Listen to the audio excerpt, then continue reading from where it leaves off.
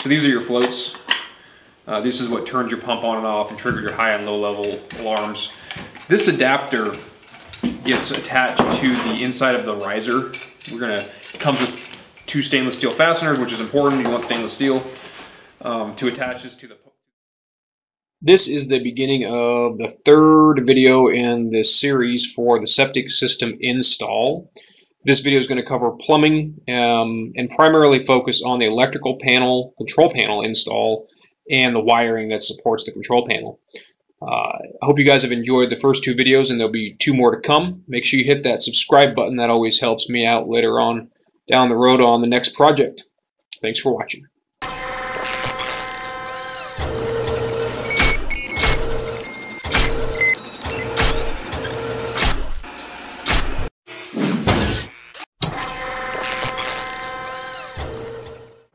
I really recommend going with the, this style or some other style of pre-built um, adapter. Don't try to jury rig these things. It's just easier to spend the money and buy this stuff than it is to try to make one yourself, which I've seen a couple YouTube videos on. Um, they obviously work because I see people doing it, but this just will make your life so much easier. So we're going to install the little rubber grommet for the electrical box which is this right here. So this electrical box is the box that allows us to run all the electrical wires into the tank itself and then there'll be a piece of conduit that comes out of this back nub where my hand's at. So hold that for a second. So I'm gonna put this grommet into the hole that Chris just drilled, which is right here. So this grommet just goes into there. Um, I'm gonna grab some sealant real quick and squirt it on there and then I'll put that back in. Uh, and then we'll show you guys putting the electrical box in. So let's go ahead and put a little sealant on here.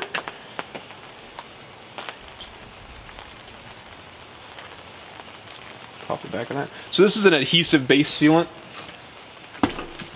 All right, and now we are going to install this, which basically just goes in and this little nub pushes into that grommet, and then we'll drill a hole through and put a stainless steel bolt in just to lock it all in place.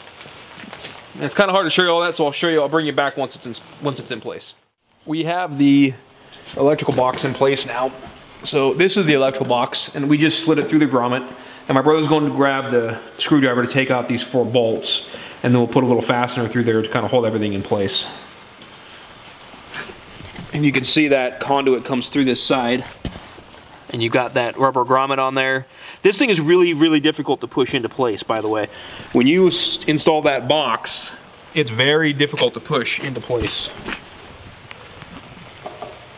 All right, so that is the inside of the electric box with no wires in it. Eventually that float tree right there will have the floats on it, the wires will come up and they'll come around and they'll go in each one of these little holes. Boop, boop, boop, they'll come out of this and they'll go through that hole, come into a piece of conduit which will come out of here and run back over to the house where there'll be the control switch for the septic system. We are out here uh, installing the electrical and the control panel for the septic system. Uh, this is a pretty, uh, we'll call it advanced control panel. Um, it has a dose meter in it for how many gallons will go down there at a single time. Uh, there's a timer built into it. Uh, it has the high level, low level, uh, on off switches all in this one control panel. it has the cycle meter in here to tell for that's more for troubleshooting issues how many times the pump's turned on. It has the hour meter for how many hours the pump is run.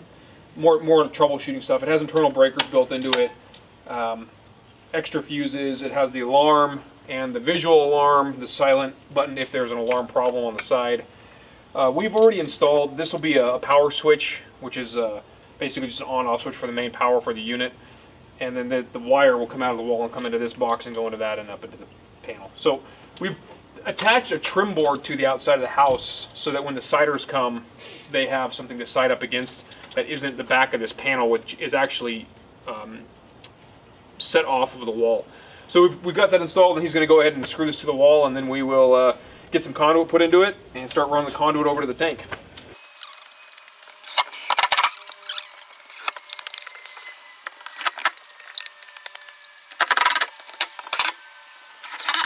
He attached the panel. I realize it's really high, he's on a ladder, but we haven't backfilled yet.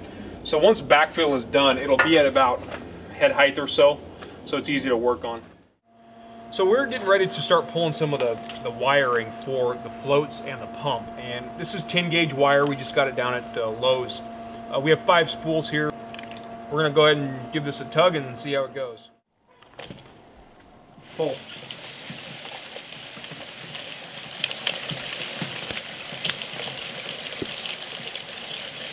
Down on your dad. It's good.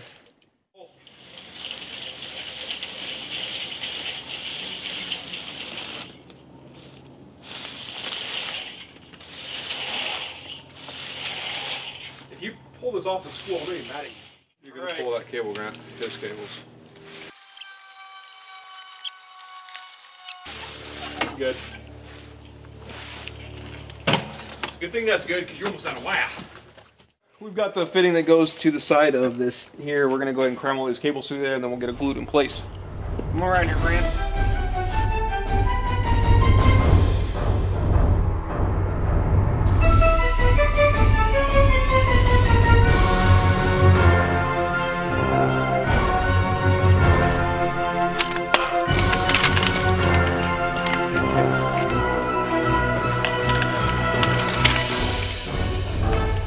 It. That's it. We ran the wires over here. We'll go do the other end and get it up into the panel.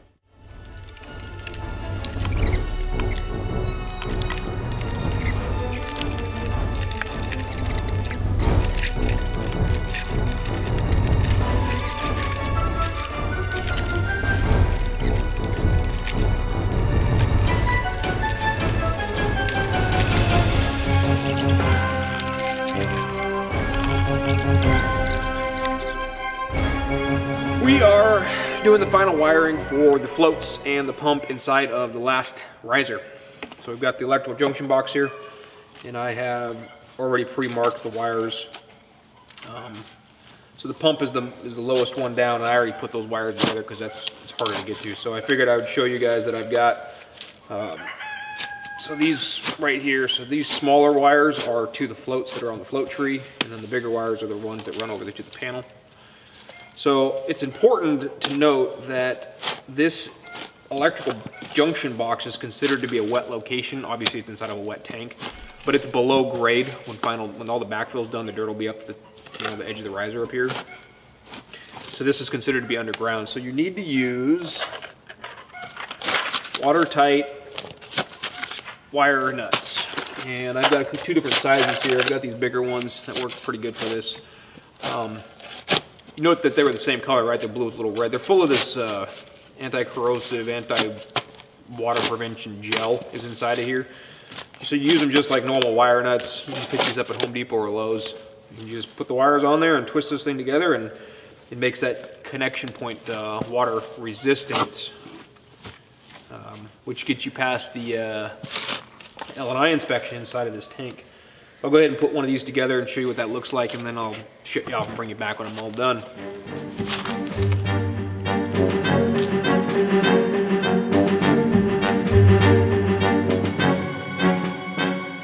So I finally got the last connections done. These are those watertight uh, wire nuts I was talking about. They're full of gel and it's really goopy and crappy. Anyway, I groomed everything else down in the box. I'm gonna groom, this is one of the floats. I'm gonna groom this one down in here, put the lid back on, and this will be uh, ready for inspection. Um, I'm going to go ahead and put the pump back in the tank because it was kind of in the way, and I'm going to test this all before I put the lid back on to make sure that I didn't inadvertently get one of the wires uh, not quite contacting right, and we'll go from there. So that's that's pretty much it. We just groom these babies down out of the way and put the lid back on after we test it. Uh, so to test it, I'm just going to go turn it on, turn the pump on, so I'll test the pump connection manual, and then I'll, I'll cycle the timers to make sure the floats are tripping correctly, and I might even pull the float tree and, and cycle the floats to make sure they're all working properly also. I'll bring you back and show you that in a second. I'm going to pull the float tree out right now. Um, when you get your septic design drawing, it will should specify the heights of the floats. Uh, the low level alarm, high level alarm, pump on, pump off, and redundant off. Depending on your system, depends on how many floats you have. In our case, Uh, the pump actually comes with the with the redundant off installed onto the pump directly. So we'll have the low, or excuse me, the operating distance. So this turns on the pump, this float will turn the pump on, this float will turn the pump off, and this is the redundant off float. And those floats are these right here, which you saw earlier I wired into the junction box. Um, these little adapters, you can get these at your local plumbing supply store and they just have a little screw on the side. So your drawing will show the measurements. You take the measurements off the bottom of the tank and you attach these in the correct place to install the floats to these adapters. So the first float, which I've actually marked color coded, is uh, down here wrapped around. And I've got some zip ties right here, which we're gonna need uh, pair of side cutters to trim down the length.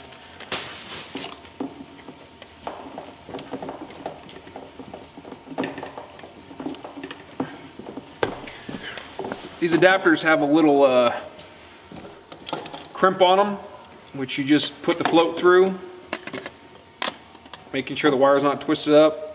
Float slides through that, then you snap her down, making sure to engage clips, and that's it, right? So then this will be in the tank. Water comes up, disengages and re-engages. I'm actually gonna spin this one around because I don't want the floats to interfere with each other. Could you give me the drill real quick?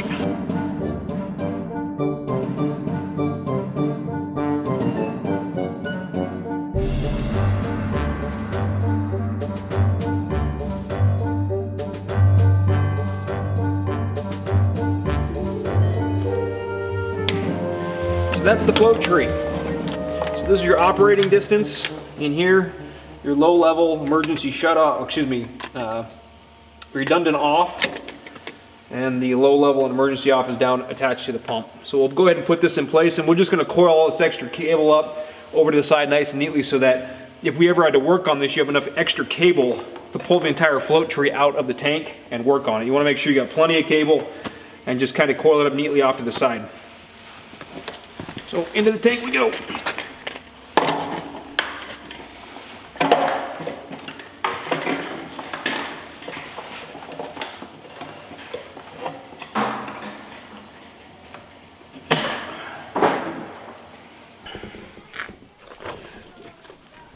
All right, let's take you guys over here and show you what the floats look like and the wiring we've got set up. So that about wraps up video three. Uh, this was primarily focused on the control panel install and a lot of the electrical, and then at the very end here, you got to see the floats getting installed onto the float tree. Um, there's going to be a couple more videos to come in this series. I appreciate you guys watching. Uh, make sure you hit that subscribe button. It helps me out later on down the road when I'm working on my next project.